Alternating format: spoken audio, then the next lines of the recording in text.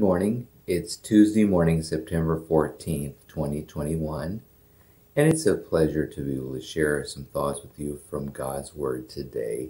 I'm Pastor Mike Custer, the pastor of Bible Baptist Church in Grand Forks, North Dakota, and we're going to read Proverbs chapter 15, verse 29 this morning. And if you have your Bible on hand, open your Bible to Proverbs chapter 15 as we read verse 29, the Bible says, The Lord is far from the wicked, but he heareth the prayer of the righteous.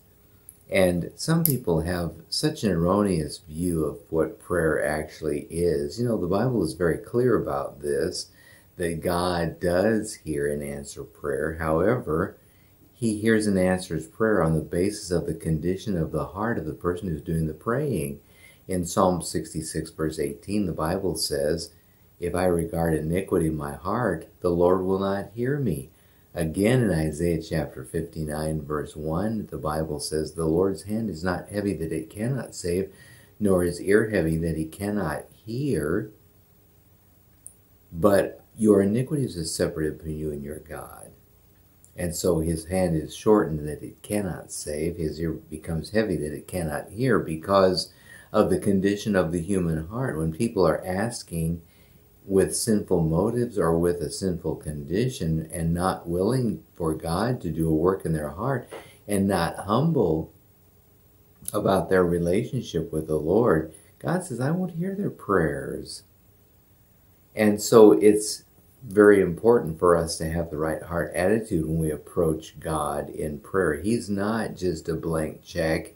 He's not our servant to jump and do whatever we ask him to do at our bidding. He is God, and he does care about his people, and he does answer prayer. But the heart of the individual must be right in order for those prayers to be acceptable with God. Let me read this verse to you again. Proverbs chapter 15, verse 29 The Lord is far from the wicked, but he heareth the prayer of the righteous. And when a person's heart is right with the Lord, then they're on praying ground and they can ask something of the Lord.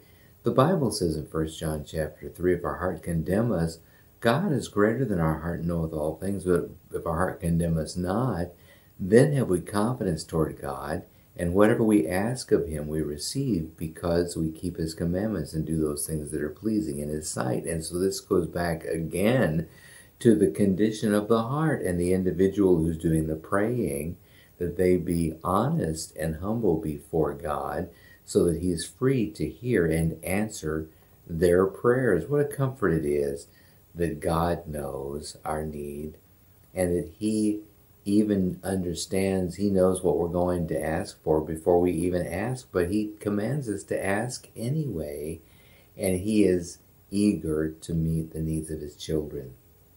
I believe God desires to hear from His people but he wants to hear from people with a humble and a submissive heart.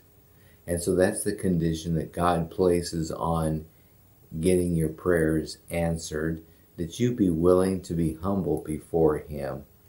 And once again, this verse states, The Lord is far from the wicked, but he heareth the prayer of the righteous, and those who will be right with God have a ready audience before the God of eternity. What a great blessing that is.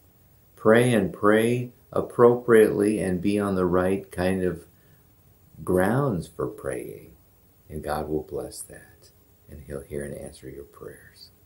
God bless you today.